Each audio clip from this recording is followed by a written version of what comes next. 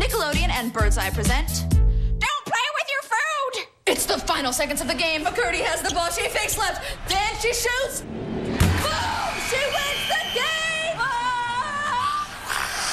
Birdseye Steam Fresh Corn and Steam Fresh Chef's favorites, all slam dunks. So, as long as you eat your Birdseye veggies, you can play with them. At nick.com slash birdseye, you can play Birdseye games and enter for a chance to win a trip to Nickelodeon's Worldwide Day of Play in New York City. I'll be there too.